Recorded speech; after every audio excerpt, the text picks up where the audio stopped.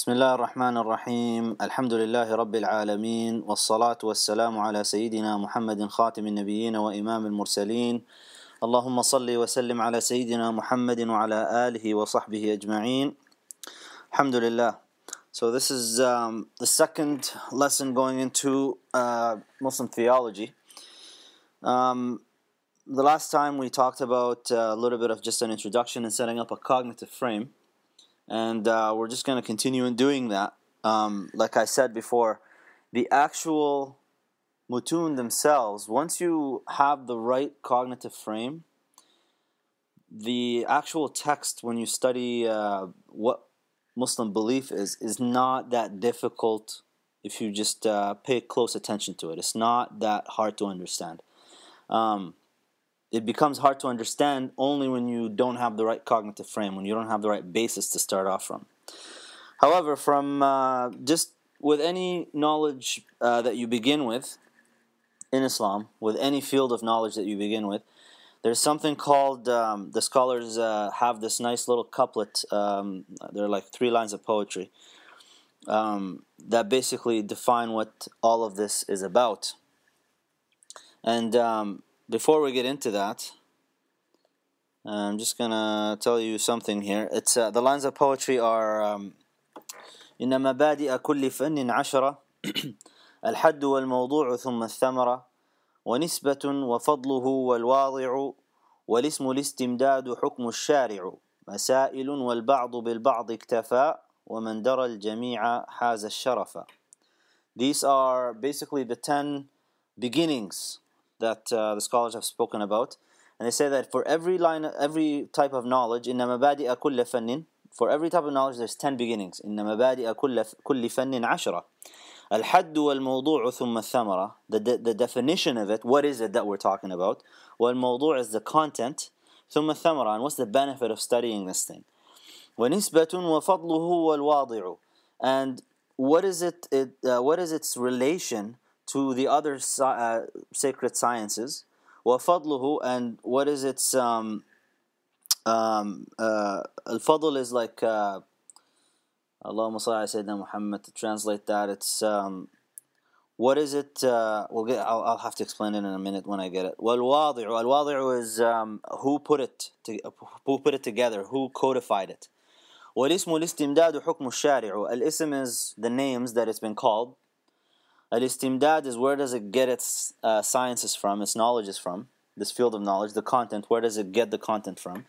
Hukm al-shari' is what is the legal ruling according to Sharia of this particular field of knowledge. Ba'du bil ba'd iktafa. Masail is the specific matters that it deals with. Bil ba'd iktafa. And some have just sufficed themselves with just a little bit of it. Um, وَمَنْ دَرَى الْجَمِيعَ حَازَ الشَّرَفَ And the one that knows and encompasses that particular field of knowledge completely, that one becomes honored. Now, before you get into any field of knowledge, no matter what it is, there is uh, what they call uh, jahalatan wa abathan. There's two uh, types of ignorances, jahalatani. The two ignorances are mahda or urfiyah. Mahda is basically complete ignorance of that knowledge. And mahda is it's when you don't know anything about that knowledge or anything that it's about. هي عدم المحضة الجهالة المحضة هي عدم المعرفة المعرفة بالعلم أصلا أو شيء عنه أو حتى اسمه even the name of it if you hear I mean some people that if they haven't heard something called علم الكلام if they haven't heard of it even, even though it exists, that person is under a jahala mahda, a complete ignorance of that knowledge. And that particular ignorance is lifted when that individual that has never heard of it hears about it. Once he hears about it, that field of knowledge now enters into its uh, into that person's uh, conceptualization, even if the conceptualization is not completely clear. But now they know about there's something called ilm al-kalam Al-jahala al-urfiyya, which is the customary ignorance of it, is basically when you have a lot of, if you look at the general population, most of us have a lot of jahala Al urfiyya about a lot of knowledges. That basically means we've heard about them, but we don't know, we haven't conceptualized its uh, formation, its uh, uh, status, and the only way we can get rid of this particular ignorance is basically to know the actual definition of that science and the content of it and what is its purpose? What is it trying to solve? You don't have to get into a complete um, intimate knowledge of that science, but to know something about it, to know how it's uh, how it's formed and what the content deals with and the specific questions that they're trying to answer, that's when you lift off the customary ignorance of that particular field of knowledge. Al-abathan, abath is when you um, get into something and you don't know what you're doing. That's what we call abath in Arabic. And again, for abath, for the there's two types of abath, mahda and urfiya as well. Al-abath al-mahd, this type of just uh, delving into things without any type of knowledge, is to get into this particular field of knowledge without knowing its benefit of it, with the fruit that you can derive from it, and you can lift off that type of um, that uh, essential type of abath off by just knowing what the fruit of this knowledge is. What are you supposed to get from it at the end of it? What would you know? Al-urfi, the customary type of abath, is basically what most Muslims do nowadays when it comes to sacred knowledge, which is going in and delving into it without knowing the uh, benefit that you would derive based on having gone into it deeply and uh, and uh, spent a lot of effort and sweat and tears reading the books and doing the work on it and and figuring out who said what and really like spending the time. Most people don't like spending the time. So, for example, the current age of uh, Sheikh Google and Imam YouTube and uh, Ustad Facebook, all of that is really abath urfi. All of it. People don't know what it takes to get that type of knowledge, um, the specific intricate details that deal with it, and so that's all abath urfi. There's a, a rule a foundational principle that says معرفة العلم بحده تدفع الجهالتان knowing the, the field of knowledge by definition not just knowing by name but knowing by definition lifts off automatically the two types of ignorances ومعرفة الفائدة الموازية لعنائه تدفع العبثين and having experienced the fruit of that field of knowledge from spending a lot of time and effort in getting that type of knowledge, that lifts off the two types of abaths. Okay, and that's that's that's basically uh, when you go into the al mabadi al ashra, that tries to lift off these ignorances. So, like we said, إن مبادئ كل فن عشرة الحد والموضوع ثم الثمرة ونسبة وفضله والواضع والاسم الاستمداد حكم الشارع مسائل والبعض بالبعض اكتفى ومن درى الجميع حاز الشرف. If you get into the science of tafsir it has المبادئ العشرة of, of علم التفسير. If you go into علم الحديث المبادئ العشرة لعلم الحديث. المبادئ العشرة لعلم الأصول لعلم الفقه. And it goes on and on. لعلم اللغة العربية لعلم الشعر. You have المبادئ العشرة for all of it. So for علم التوحيد because you need to know what al-mabadi al-ashra for it before you delve into the different texts and mutun and whatnot. Al-had, inna mabadi kulli fannin ashra, so we'll talk about ilm al-tawheed. Al-had, the first thing, the first mabda, the first beginning, al-had, which is the definition of what ilm al-tawheed is. And the you'll find different definitions that all revolve around it is the science that with it you can codify and assert the creed of religion, based and specifically Islam, and that's by going into the proofs and um, the principles of it, and also lifting off all types of red herrings people might put on your way to try to uh, deviate people away from it. That's the science of Tawheed. Al-Mawdu' which is the content of it, is basically all the things that deal with how do you prove the foundational principles of this tawheed. Um, the content of every knowledge is, or every every field of knowledge is what is searched about within that field of knowledge. All the things that re, that are researched, and when it comes to ilm tawheed, we're talking about what is uh, necessary for uh, for Allah subhanahu wa ta'ala, such as uh, his uh, qidam, pre-eternal nature, uh, al-wahda, that he is uniquely one, wal-qudra, his, uh, uh, his ability, wal-irada, his will, and other ones. And all the things that are impossible for Allah subhanahu wa ta'ala, such as that he was created. That's impossible for him. At-ta'addud, you know, uh, having many of many gods uh, al-jismiya having a, a bodily feature anthropomorphism that's not in the Muslim creed you'll find it in other creeds and um, that's basically the content of علم التوحيد والثم ثم الثمرة الحد والموضوع ثم الثمرة the ثمرة is the fruit the fruit of knowing uh, of ilm tawheed is knowing Allah subhanahu wa ta'ala. When you know what is necessary and what is impossible for Allah subhanahu wa ta'ala, and all that is necessary and impossible for the prophets, what will end up for you is your belief, your faith, your acknowledgement of uh, the Sharia itself becomes certain. And if you hear somebody giving you a particular um, shubha, something that can try to shake your faith, it won't shake your faith. If you know, if you have these things really embedded within your being. And the only way you can do that is through knowledge. That's its uh, its benefit there.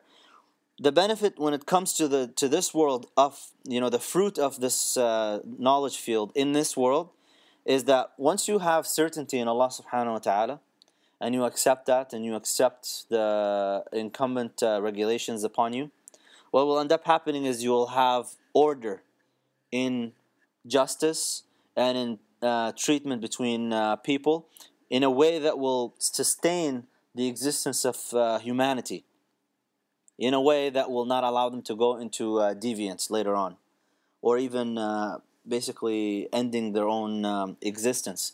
Such as, for example, we have uh, one of the issues that um, people are trying to deal with in, in, the West, which is really from a Muslim perspective, is an ethical issue, is um, global warming. And um, what rights do the forests have? I mean, uh, the West talks about uh, human rights and animal rights. Well, Islam talks about the rights of trees and the rights of mountains and the rights of uh, flowers and the right. I mean, if you actually study the Islamic uh, ethics behind all these things, we can show them like we. This is our field when it comes to rights. We have the rights of the universe rather than just the rights of a couple of things. The only way you can assert these things is if you have certainty that is only arrived at through knowledge of the field of knowledge of Tawheed. That's the benefit in this world. In the next world, it has a different benefit, which is the clear one uh, being saved from the hellfire and uh, being able to get into um, uh, into uh, paradise, inshallah. وَنِسْبَةٌ What is the relationship of this field of knowledge, tawheed, to all the other fields of knowledge, such as tafsir and uh, hadith and fiqh and usul and all these things? It's the foundation of all of these knowledges. هو أصل العلوم الشرعية if you don't have Tawheed, you ain't got nothing. Um, one of the major scholars has said uh, that the relation of this knowledge to all the others is that this particular knowledge, Tawheed, is kulli, it's general, encompassing, and the rest of uh, fields of sacred knowledge are juz'iyat. They're just uh, specific portions of the uh, of uh, the sacred uh, knowledge field. For example, when you look at somebody who's doing tafsir, the only thing he looks at is he looks the where he derives his knowledge from to, to look at and explain is literally just the Quran. That's the only thing he goes with to explain. Obviously, he uses hadith and things like that, but in reality, the one thing that he's uh, working with is the Quran. Al Muhaddith, what is his field of knowledge? His field of knowledge is explaining, just bringing about the hadith, not even explaining it really. He just brings about the hadith and confirms the asanid and confirms the chains of transmission and whatnot. Al Usuli simply looks at, at, at Dalil al Shari. He looks at the, uh, the uh, the Sharia based evidence, the proof only. That's what he's looking at. Wal-faqih, the one who does fiqh, he just looks at the actions of al-mukallaf, the one that is legally responsible. That's what al-faqih does. Is it permissible to do this or is it not permissible to do it? Um, is it sunnah to do this? Is it fadila to do that? That's what the faqih does. Al-mutakallim, which is the person who looks at ilm al-tawheed though, he's the one that looks at the general of everything. Al-a'am, which is all that exists. That's what someone who deals with ilm al-tawheed does. He looks at everything, the all of existence. Whether it's um, uh, and he looks at, div- at dividing it into what is pre-eternal, which is Allah subhanahu wa taala, and what is caused into coming into existence, and he also divides the uh, the uh, thing that is existing into different categories, and he divi- divides the different categories into different things as well, subcategories. So that's what he looks at everything that exists. And to do that, the one that does ilm al-tawheed literally has to look at everything. He has to look at tafsir, he has to like he has to look at hadith, he has to look at adillah, he has to look at all of these things in order for him to assert what is ilm al-tawheed. Fadluhu, basically looking at the, the rank of this knowledge in opposed to other knowledges. And the rank of ilm al-tawheed هو أشرف العلوم الشرعية وأفضلها. It is the most noble of all of the sacred knowledges and it is the highest in rank. Because knowing it, knowing ilm al-tawheed and having that type of knowledge is the most noble type, noble type of knowledge and it's the highest in rank. And obviously that the content of which will go with that. So and the reason for that is really the the whole purpose of ilm al-tawheed is knowing Allah subhanahu wa ta'ala, knowing the attributes of Allah subhanahu wa ta'ala knowing the actions of Allah subhanahu wa ta'ala and how all of that fits together. And knowing Allah subhanahu wa ta'ala is the, definitely the most noble of all knowledges. More noble than knowledge of fiqh, more noble than knowledge of uh, of tafsir, more noble of everything. And the reason it's more noble is because all the other knowledges, with their nobility, they're parts of this greater nobility. Because they just look at parts. This, the mutakallim, the one that does tawheed, he's getting everything together and combining it all together to give you this particular type of knowledge, which is knowledge of Allah subhanahu wa ta'ala. Also, the proofs that are used in ilm al-tawheed is what is uh, in uh, uh, Sharia terminology called qat'iyya. It's unequivocal. When we talk about Allah subhanahu wa ta'ala, we're talking about unequivocal proofs. Whereas the proofs that are used in the other fields of knowledge, they're all dhanniya they're equivocal. They can, for the most part, that is. Um, they can accept, in a lot of places, various interpretations. Obviously, this does not mean, um, this does not include things to do with uh, having to pray five times a day and all. This is this that's fiqh, but that's qat'i as well. That's things that you have to do. We're talking about the greater. Um, I just list, I just heard a thing by uh, Imam Suhaib Webb, and I've actually heard it from various Azharis as well um, that the Sharia, the qat'i part of it is 3%. 97% of it is dhanni, meaning equivocal, whereas 3% is unequivocal. Tawheed falls within the 3%. It's one of those things that you just, there's no, uh, there's no discussion on the matter. Now, when you're talking about uh, uh, unequivocal proofs that are used here, what ends up happening from them is um, eternal happiness and bliss, which does not happen except through ilm al-tawheed. Give you an example to clarify that. If a non-Muslim comes right now and prays Isha with you, that prayer doesn't do them any good. Even if all of the fiqh of it is right, if they come in believing that they're praying to Jesus Christ, وسلم, or they're praying to Moses or praying to Buddha or praying to any any other being, even if the fiqh is completely right and they're reciting Quran properly and doing all these things, if their tawheed is not there, that's not going to get them eternal bliss. And that's the point of this knowledge. The other thing is, um, all of the other knowledges are not sought after for themselves. Meaning, um, when you seek knowledge of fiqh, your purpose of seeking knowledge of fiqh is to do action with knowledge of fiqh. That's the purpose of knowledge of fiqh. Whereas knowledge of tawheed is sought for itself. You don't make an action based on knowledge of tawheed. Knowledge of tawheed is sought for itself. And a knowledge that is sought for itself is definitely more noble than knowledge that is sought for something else.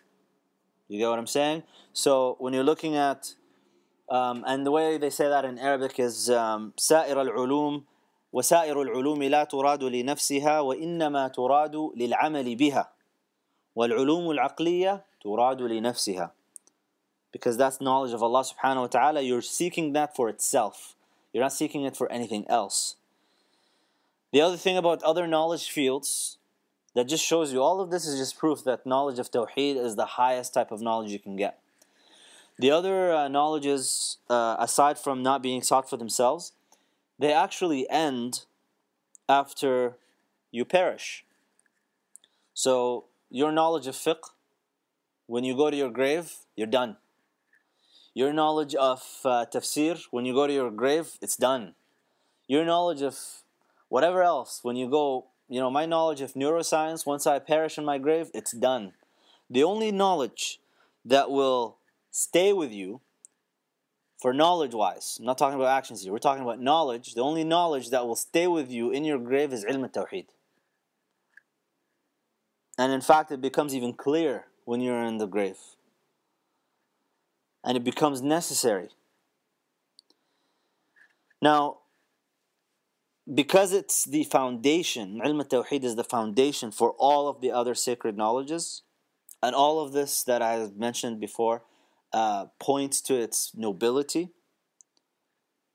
Allah subhanahu wa ta'ala when he says in Surah Al Imran شهد الله أنه لا إله إلا هو والملائكة وأولو العلم أولو العلم here in tafsir is referred to ulama at tawheed.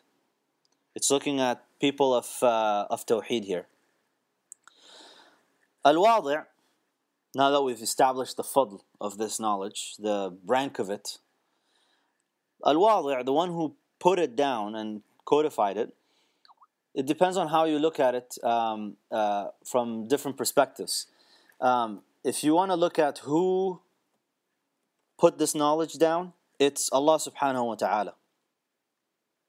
Because it's so many verses in the Quran, Allah subhanahu wa ta'ala has has clarified the aqidah, the creed of the Muslims, and all the proofs of it. However, who codified it? Who wrote it down afterwards? Now Allah subhanahu wa ta'ala has revealed it to us, but who wrote it down? The one that wrote it down, according to uh, most uh, scholars that have looked at the history of this, it started off with Imam Abu Hanifa, rahimahullah, and Imam Malik. Imam Malik is said to be the first one to write a, an official uh, risala on it, an official kind of treatise on this particular field of knowledge. But when you're looking at ilm al-kalam, which is what it really became afterwards, didactic theology, the first one, according to many of the scholars, to codify it properly for Ahl sunnah because from last time we said that the Muslims really um, got into uh, uh, trying to codify it to deal with all the different theologies that were present at the time. The first one to uh, put for Ahl Sunnah a codified aqidah is Imam Abu Hassan al Ash'ari. And he's the one to really kind of uh, go through and um, answer all the different contentions of the Mu'tazila and, and uh, respond to all the different uh, uh, red herrings that are being put up by all the different theological groups. So, as far as we're concerned for Ahl Sunnah, and if you and I've mentioned this before um, in the last lesson, and I mentioned in other occasions, if you travel across the Muslim Ummah, you really come across two Imams that are considered to be Imams of Ahl Sunnah wal Jama'ah, which is Imam Abu Mansur al Maturidi and Imam Abu Hassan al Ash'ari. Both of them are considered to be the Imams of Ahl Sunnah wal Jama'ah, by and large. Um, they're the ones that basically responded to all the different um, uh, innovations that are being brought about and all the different philosophies and, and things that deal with theology um, in a way that wasn't done before them. Moreover, the Imams that came after them, like Imam uh, Fakhruddin al-Razi and Imam Abu Hamid al-Ghazali and others, What they've done is they just expanded, but they use the same usul of uh, theology that have been codified by Imam Abu Hassan al-Ash'ari and Imam Abu Mansur al-Maturidi. However, if you look at some, what uh, some of the other scholars have uh, said about this particular content of knowledge itself, al-wadi' and who put it, um, it's a knowledge that is Qur'aniyah. It's a knowledge that is from the Quran because it's all it's all put together in the words of Allah subhanahu wa ta'ala. Allah subhanahu wa ta'ala has mentioned in the Quran the creeds of several groups Jews, Christians, even materialists are mentioned in the Quran. وما هي إلا حياتنا الدنيا نموت ونحيا وما يهلكنا إلا الدهر الدهريين So Allah subhanahu wa ta'ala has mentioned a lot of different creeds in the Quran. He mentioned the nubuwat, he mentioned the prophecies, he mentioned uh, and the prophets, he mentioned um, uh, the revelations. And all of that basically points to and everything and, and he even points Allah subhanahu wa ta'ala points to the huduth al-alam, the causality of this world, the existence of this world out of nothing. And showing how that is proof for Allah subhanahu wa ta'ala. كما بدأنا أول خلق نعيده Surah Al-Anbiya as we have created the first uh, creation we will bring it back قل يحييها الذي أنشأها أول مرة وهو بكل خلق عليم Surah Yasin Say the one who um, created it first will create it again will bring it back to life again and he's most knowledgeable by of every creation that he has الذي جعل لكم من الشجر الأخضر نارا the one who has made to, for you from uh, green trees fire. Also, Allah subhanahu wa ta'ala has mentioned in the Quran the proofs of, of Ibrahim alayhi salam and all the other prophets that basically when they go and they start debating with all the all the Fir'aun and uh, uh, when they when uh, when Musa debated Fir'aun and when uh, alayhi salam uh, Musa uh, debated Fir'aun and you have Ibrahim alayhi salam debating Nimrod all of the all of these different things are mentioned in the Quran. And so if you look at the actual knowledge itself Allah subhanahu wa ta'ala has codified it for us in the Quran in a uh, in a beautiful way. And it, it doesn't need it didn't need for uh, human beings to interfere to tell us that this is how you should be believing in Allah subhanahu wa ta'ala. So, and and that's really what ilm al-kalam is. It's all based on Quran. Um, it's not based on just people making up things. Um, one of the and I'll tell you uh, an example of that. For example, for us, we say that Allah subhanahu wa ta'ala is Ar-Rahman because Allah subhanahu wa ta'ala tells us He's Ar-Rahman, He's the most merciful. Um, William Craig Lane, I think his name, William Lane Craig, this uh, Christian apologist uh, philosopher, he had a debate with, uh, uh, he, had, he had a lecture, and I saw a Muslim student get up and he asked him a question about, you know, what what do you say about the understanding of God in Islam? And he said it's not great enough. Well, when you ask him why do you say that it's not great enough, and he says he's not all loving. Well, that particular uh, assertion, it is not a logical necessity for Allah Subhanahu wa Taala to be all loving. Now you're asserting your own type of criteria to tell us what God to believe in. So he's actually setting himself up to go with the Christian understanding. Whereas if you just divorced yourself away from that and just go like, well, being all loving is not something that is necessary to the essence of Allah subhanahu wa ta'ala, of God. If God tells us that He's all loving, then that's great. But if He doesn't, that's also fine. It, it doesn't take away anything away from God. So when you're looking at ilm al-kalam, we don't have something like that, where we assert something that is not a logical necessity to, uh, to God. Now, Imam uh, Tajuddin al-Subki, he mentions in Tabaqat al-Shafi'i al-Kubra, he says that know that Ibn al-Hasan, he did not come with a new thing. He didn't innovate anything new. And he doesn't he didn't start a new madhab in uh, theology. All he was doing is he was uh, uh, codifying what the Salaf already believed. He was just putting it in uh, theological terms, what the Salaf were already believing. And he just wanted to assert what the Sunnah was asserting and what the Quran was asserting about Allah subhanahu wa ta'ala and about the creed of the Muslims. So when you attribute um, your uh, theological uh, training to the Ash'ari way, all you're doing is you're just asserting that this is the, what the Salaf, in theological terms, what they believed. just because they didn't assert it in theological terms, doesn't mean that it's not true. Al-ism, because as we go through this uh, didactic uh, couplet, uh, والاسم الاستمداد حكم الشارع Al-ism, the name of the science, what is it called? I've been calling it علم التوحيد this whole time. That's one name for it, and it's called علم الكلام as well. Um, and it's called uh, علم التوحيد والصفات. And it's been known as علم الكلام because at the in the past what they used to say was uh, الكلام في كذا وكذا. That's how they used to say it, the scholars back then.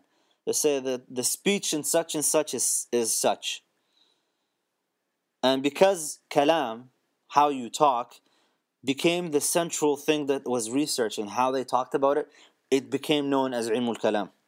How do you say, how do you believe, how do you articulate what you believe about Allah subhanahu wa ta'ala? That's why it was called ilmul kalam. Also, it's been called ilmu usul ad-din, uh, the science of usul ad-din, the foundations of this deen. Why? Because this is what religion is built built upon. Also, it's been called ilm al-aqaid, the science of creed, um, or different creeds. Imam Abu Hanifa, rahimahullah, he gave it a beautiful name. He called it al-fiqh al-akbar. It is the greater fiqh, to know what you believe about Allah subhanahu wa ta'ala. Al-istimdad, where does it get us knowledge from? Where, where does it get us content from? This ilm of tawheed, of kalam, of aqaid, usul ad-din, whatever you want to call it. Where does it derive its um, knowledge from? Istimdad of it comes from uh, Quran and Sunnah and consensus. That's one part, as well as al-adilla al-aqliya, the rational proofs, the pure reason rational proofs. That's where it gets it. So from um, so you can get it from tafsir, you can get it from hadith, uh, you can get it from uh, hukm al-aql, like we said, uh, the intellectual ruling. And in reality, if you look at the Quran itself, it's enough for you to get all of what you need for uh, ilm al-tawheed. The Quran is, is sufficient. You don't have to go any further than the Quran. Um, as you, what you find as you build upon um, uh, branches of this particular knowledge and going into different little semantical type of issues, what you end up with is having to go a little bit into a hadith mutawatira and you go into a little bit of and you start delving into different matters but that's if you want to know just the foundational things and the things that you have to know the quran is sufficient حكم الشارع and that's where it takes us to حكم الشارع how far do you have to go حكم الشارع is the legal ruling of this field of knowledge.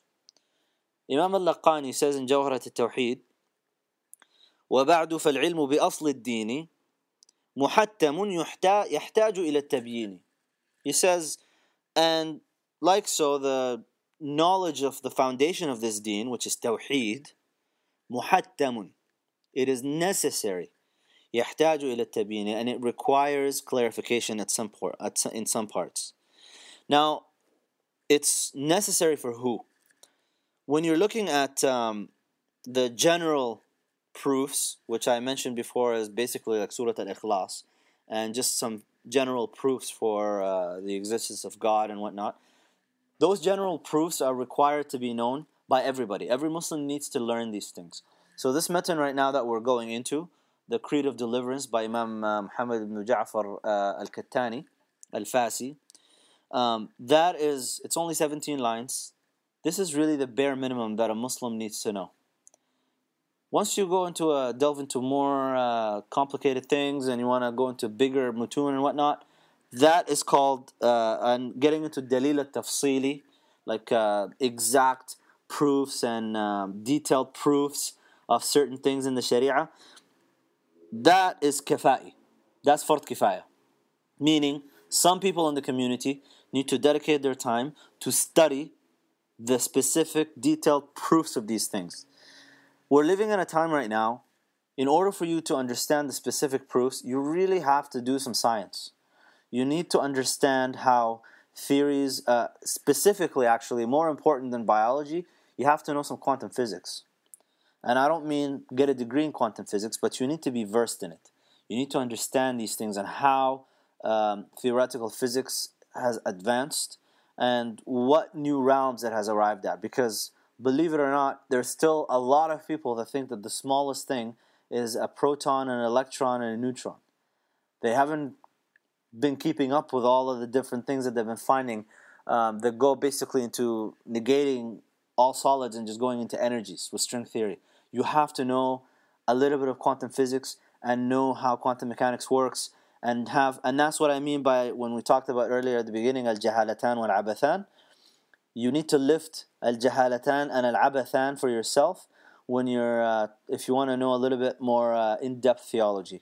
Where, uh, you need to lift the jahalatan abathan on quantum physics, quantum mechanics. You also need to lift it off for uh, things like uh, in biology, like evolutionary biology. Um, you'll need to know these things in order for you to be able to address some of the modern contentions that people can bring up, and atheists specifically, that will uh, put forth in order to shake the belief of uh, and the faith of uh, Muslims. That's that becomes fard kifaya. So people that are like imams in masajid, uh, muftis in towns, they need to know these things. It's it's become fard ain on these people to know these things and know it well, so that they can answer all these questions. Allah subhanahu wa taala says, "Fa'lamu." Allah subhanahu wa taala says, uh, "Fa'lam annahu la ilaha illallah." When Allah subhanahu wa taala says, أنه لا إله إلا الله." That is a command by Allah subhanahu wa ta'ala to know that there is no God but Allah subhanahu wa ta'ala. That's from Surah Muhammad. So, again, like we said, dalil ijmali, general proofs, like the 17 lines that we're going to go through here for Imam Ja'far, uh, Muhammad ibn Ja'far Kattani in Aqidat al-Najat, that one is for the general public. Everybody needs to know this stuff. But when you're going into specific details, that's when you need to get yourself uh, attached with uh, lifting off al-jahalatan and al-abathan, the two ignorances and the two uh, uh, specific ignorances really of uh, things like quantum mechanics and evolutionary biology and whatnot. مسائل الحكم الحكم الاسم الاستمداد حكم الشارع ومسائل المسائل is really the the specific uh, uh, cases and and uh, uh, contents and uh, things that are dealt with in this knowledge. That's what masail are. Uh, some of them have to deal with uh, uh, uh proofs that are arrived at using logic and whatnot. Others uh, have proofs that are given to you through the Sharia. Um, and that's what masail are. Uh, and some people have just sufficed themselves with a little bit of this stuff. ومن ومن درى الجميع has الشرف and whoever has encompassed all of these things all of the 10 things with their specific details that person will nail um, a, a, noble a noble rank and a noble status that's المبادئ العشرة for علم التوحيد one thing that I wanted to clarify is what, what when it comes to the intellect we say that al-Islam دين العقل Islam is the religion for the intellect. What are we talking about when it deals with theology, for example? You arrive to the existence of God, you arrive to knowledge of God, that He exists, through your pure reason, through rational in- intelligence. Once you arrive at that, and you arrive at that the Prophet ﷺ, Muhammad ﷺ, is the final messenger, once you get to these things, when you get the revelation itself, you suspend your judgment over the revelation. You no longer become the judge of it. You use your intellect, you subject it to it. In much the same way, which is really what uh, atheists um, are being hypocritical about in a sense, um, when they talk about empiricism and rationalism. Empiricism is just basically really materialism. That we only have knowledge of things that deal with the sensoria, five senses. They subject their reason to that. They subject their reason to empiricism. Pure reason needs to be able to fly. It can't be restricted to just empiricism. We subject, as Muslims, our reason to the revelation after we arrive to the logical necessity of God, of the Messenger wasallam, the fact that he came with this revelation, and then we say, okay, now let's get into understanding this revelation using our intellect. The difference between the Ash'aris and the Mu'tazila was that the Mu'tazila used their intellect to judge the revelation. So if Allah subhanahu wa ta'ala says something in the Quran that to them, to the Mu'tazila, is problematic intellectually, and we're not talking about science here, we're talking about theology. To them is problematic theologically, they will assert their intellect and negate what the Quran is saying. That's what the Mu'tazila have. So when Allah tells you, وجوه يومئذ ناظرة إلى ربها ناظرة, the Mu'tazila will say that's impossible. That's the problem with the Mu'tazila. Imam Abu Hassan al-Ash'ari was a Mu'tazili initially, and that's where the Salafis have a problem with him. They confuse him for uh, his period during uh, during uh, during his period as a Mu'tazili, and they think that Ash'aris right now, and some of them are fair. They'll say no, he left his i'tizal, but the Ash'aris of nowadays nowadays are going with his previous aqidah, which is not true. That's not fair to Ash'aris nowadays, and it's not fair to Imam al-Ash'ari himself.